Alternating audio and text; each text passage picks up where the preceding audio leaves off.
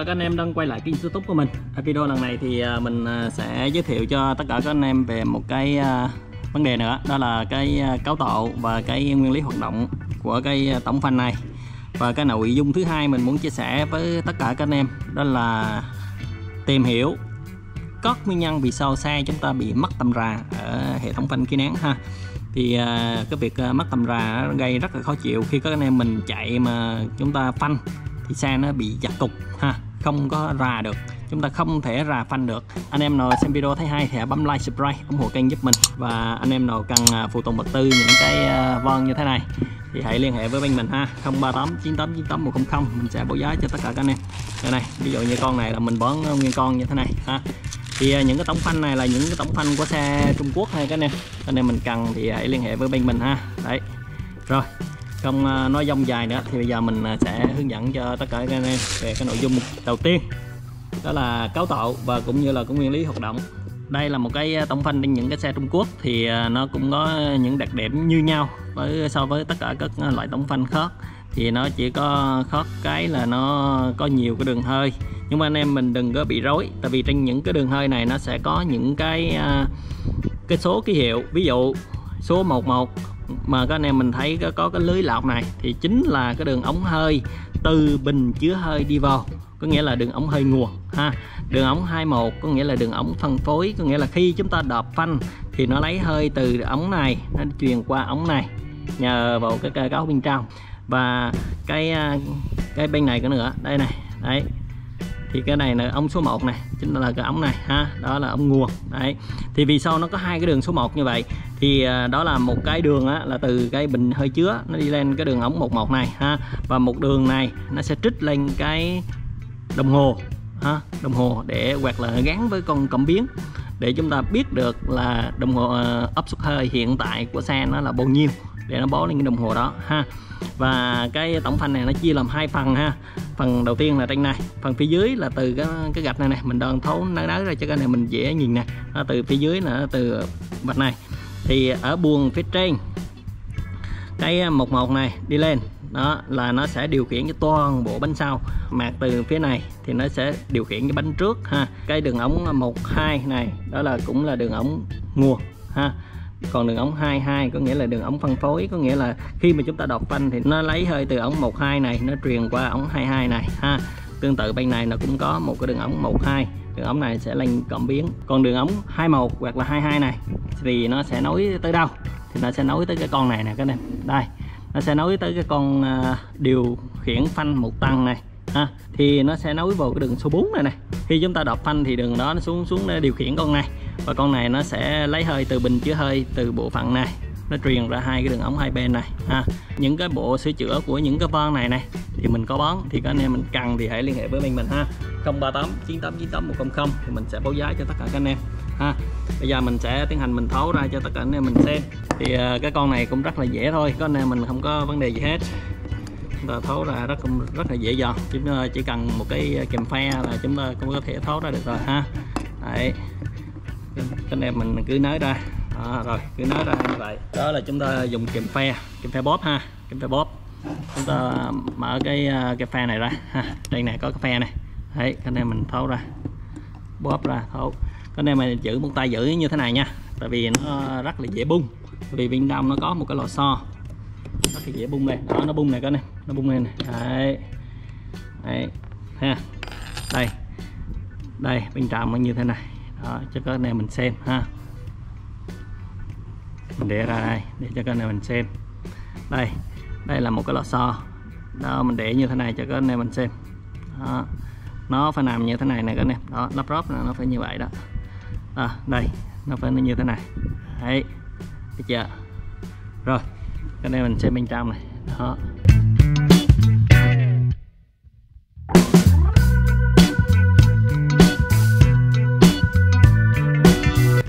mình rút cái con này ra. Thì các anh em mình à, hãy nhớ nhá. Ví dụ như chúng ta rút ra cái à, cái vị trí nào thì chúng ta hãy, sau này chúng ta lắp lại vị trí đó, ha. Chúng ta hãy làm dấu hai cái mặt thất này, đừng có lắp lẫn với nhau ha. Rồi, đúng rồi, chúng ta rút ra, ha. Đây, tiếp theo là nó sẽ tới cái vân này, đây, ha. Giờ chúng ta rút ra. Rút ra con này thì chúng ta hãy nhấn vào đây.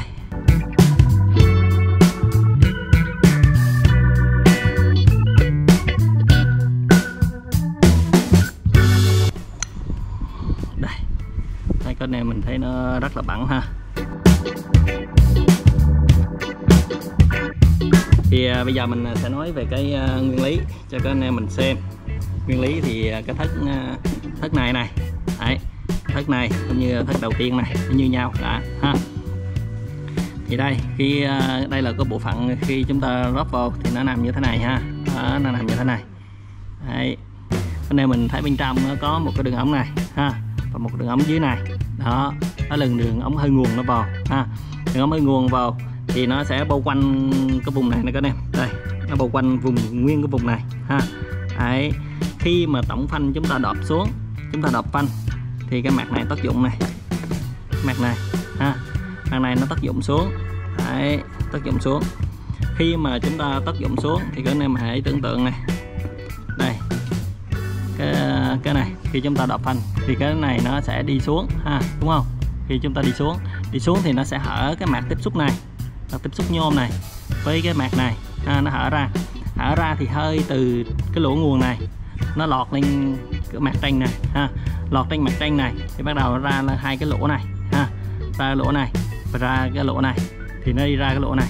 Đây lỗ này cơ này đây đây thấy uh, cái viết mình đút gì ạ? Đấy. Ra cái lỗ đó ha. Đó và nó sẽ đi phân phối ở đây cái bộ này. Đây đây sẽ đi đến cái bộ này. Đó. Khi chúng ta thôi đập phanh. Thì với cái lực lò xo này lực lò xo hồi vị này nó sẽ tống lại cái lớp B này. Tống lại cái lớp B này thì nó nó làm cho cái lớp B chúng ta làm kín với cái mặt nhôm này thì nó sẽ kín lại à, hơi lúc đó thì hơi từ cái cái bộ phận này ha bộ phận này hoặc là từ cái đường ống bắt đầu nó sẽ dồn về dồn về theo cái đường chứa này theo cái đường ống này ha.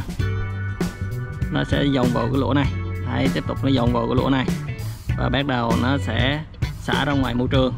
Đi lên cái buồng này các anh em nó lên cái buồng mạc này sau đó nó xả vô cái lỗ này này lỗ này đây để mình để vô cho các anh em mình xem. Đấy khi mà hơi từ ống hơi từ bộ phận này này đó, nó hồi về thì nó sẽ đi lên cái đường à, đường này ha thì hai cái đường này sau đó nó xì xuống đây ha xì qua cái lỗ này và nó thải ra ngoài môi trường nhờ cái à, cái bộ phận này. Đây nó xì ra ngoài môi trường này. Đó đó là cái nguyên lý hoạt động của cái tổng phanh đó là cái thất đầu tiên ha. Còn cái thất thứ hai này nó cũng tương tự như vậy ha tương tự như vậy nhưng mà nó chỉ khớp một cái bộ này. Đây cái bộ này nó nó nó, nó có thêm cái bộ này. Đó, để nó để nó làm gì? Để nó trợ lực phanh ha. Khi mà chúng ta đọt phanh á, thì hơi nó sẽ có một vùng này và nó sẽ tác dụng vào cái cái mặt này ha. Đó thì nó sẽ làm cho cái cái cụm bít tông này nó đi xuống ha đi xuống đi xuống và nó sẽ tác dụng lên cái mặt này. Nó làm cho bánh xe trước chúng ta ăn trước ha. Đó là nhờ cái bộ phận này. Tại vì người ta sẽ thiết kế cái bít tông này này, nó to hơn. Nó to hơn để cho nó tác dụng vào cái bánh trước trước, ha. Tại vì cái à, ở các dòng xe thì cái động cơ chúng ta thường hay đặt ở phía trước và trọng lượng rồi đó, nó nằm thường thường ở ở bên trước. Cho nên là người ta yêu cầu lực phanh ở bên trước nó thường hay lớn hơn một tí, ha. Đó đó là vì sao mà tổng phanh nào nó cũng có cái bộ phận này. Không có tổng phanh nào mà không có cái bộ phận này hết ha. Đó. Rồi để bây giờ mình à, sẽ thấu ra cho các anh em mình xem luôn cho cho anh em mình mở nhọn ha. Đấy, đây. Thì cái chiều lò xo này các anh em khi các anh em lắp là không có được sai chiều lò xo nha các anh em không được sai chiều ha. Chiều chiều lò xo này để cho nó định tâm ha. Nó nhiệm vụ nó là định tâm á ha. Tại vì lò xo nó là lò xo nón ha. Nó là xo nón cho nên nó định tâm được. Đây đó. chúng ta lắp đúng. Chúng ta lắp như thế này nó, nó tuột như thế này này. Đấy nó tuột như thế này. Đấy đặt lắc ha. Thì bên trong này nó cũng sẽ có một đường nguồn đây. Đây đường nguồn này. Đấy. Và bên trong này sẽ có một bê tông. Bê tông này nhận lực đập từ bằng đập phanh. Để mình tháo ra cho các anh em mình xem luôn ha.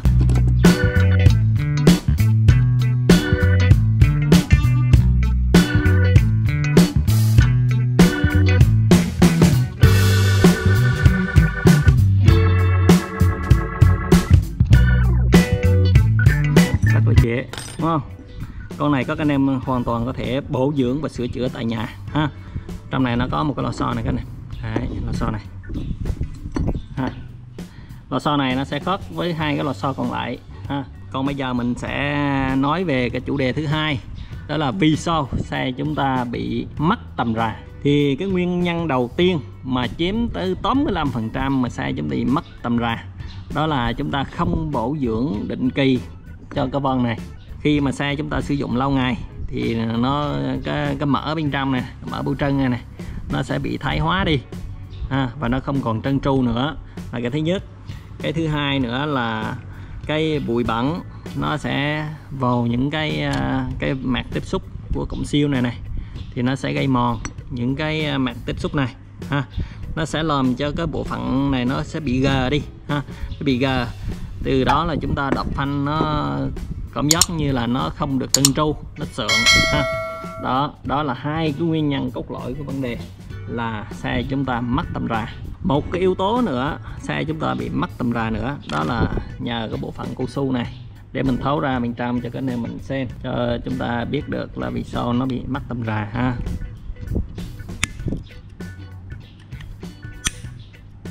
Ồ, gãy luôn. Gãy luôn, cái cái rồi gãy luôn cái à, lò xo rồi. Cái à, gãy luôn cái phe rồi. Đây. Đây nha anh em. Đây là cái bộ phận mà làm cho xe chúng ta có cộm giót phanh, ha. Bên trong nó có lò xo. Hoặc là ngay vị trí này, ở những cái tổng phanh khác, nó sẽ có là một cái lớp cao su ngay chỗ đây, ha. Thì lâu ngày, cao su này nó không còn đòn hồi nữa, nó không, nó xẹp xuống nó xẹp xuống. Nó làm cho xe chúng ta bị mất độ ra ha. Cái tổng phanh chúng ta bị mất độ ra chúng ta đọp đâu là nó ăn đó đọp đâu là ăn đó ha.